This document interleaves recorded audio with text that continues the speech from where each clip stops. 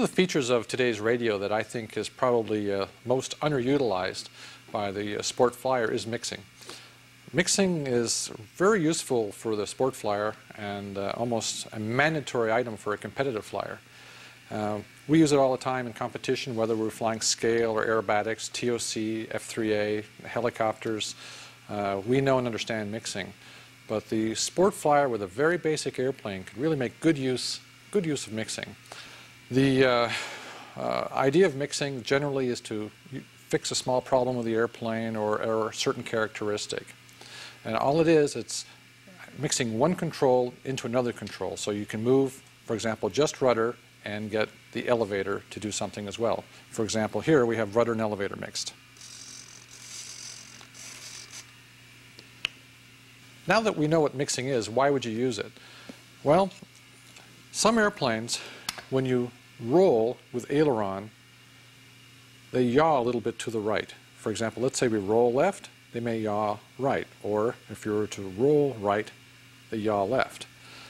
And some airplanes, this is such a small issue, it's hardly noticeable. Some airplanes, it can be rather dramatic. Um, a Piper Cub, for example, usually, if you roll left, the airplane will still turn, but the tail will hang low through the turn. That's an uncoordinated turn. A few airplanes, this can be such a bad uh, adverse yaw, you'll roll left, and the airplane will actually turn right. So, what you do is you can mix with the radio, so when you give left aileron, it automatically gives the correct rudder. And this is a very easy thing to do and can really improve your flying and make a coordinated turn much easier. The first thing you should do is get your owner, owner's manual out. It's uh, not always easy to read, but just go to the mixing section and you'll find it's, uh, once you understand what you want to do, reading through the manual is not so painful. Here we have the aileron mixed into the rudder, such as this. There's left aileron, left rudder, right aileron, right rudder. Now, understand what you'll have is aileron is the master and the rudder is the slave. And don't get that backwards. We'll turn it off. It's not active. Now it is active. Now for illustration purposes here, we have a lot of aileron throw and a lot of mix. In real terms, you'll probably want about 10% mix to start. I should say you'll have the aileron function normally and the amount of uh, mix that you have mixed in around 10% each way. Another thing is to make sure it's going in the right direction because you can easily mix it the opposite way and make matters worse. So in this particular case, we're fixing adverse yaw left aileron, left rudder, and here we have about 20% right aileron, right rudder. On an airplane such as a Piper Cub, this will make a huge difference in how the airplane flies. The uh, aileron into rudder mix is a fairly basic mix setup. That's pretty fundamental, and uh, a lot of airplanes will benefit from that setup. A more advanced uh, mix would be if you're um, doing aerobatics and when you roll an airplane to knife edge, you're flying along like this, and let's say you roll to the right.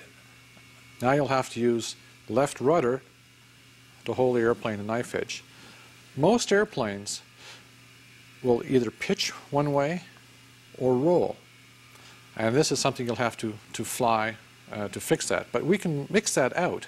So what you'll have when the airplane is perfectly trimmed out is you simply roll to knife edge, use left rudder, and the airplane will fly continuously nice and straight, making your knife edge much easier to do. Take this a step further. Now, when you want to do a four-point roll, think how much easier that roll, four-point roll will be without having to fight pitching and rolling. And this is how you can perform precision aerobatics uh, much easier with proper mixing.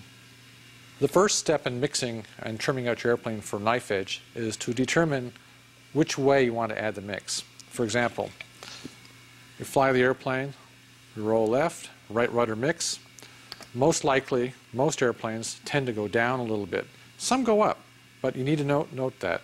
It's really helpful to have a friend uh, to write it down because it's an easy thing to, to forget. Also, you might want to note, okay, it goes down a little bit with right rudder, and you roll it the other way, and with left rudder, it may go down a lot. So you know, write this down so you can notate that and you adjust the mix accordingly. The other thing, of course, is when you roll to roll left, right rudder, most airplanes, it's called proverse roll. With right rudder, it'll roll right. But again, some airplanes roll left.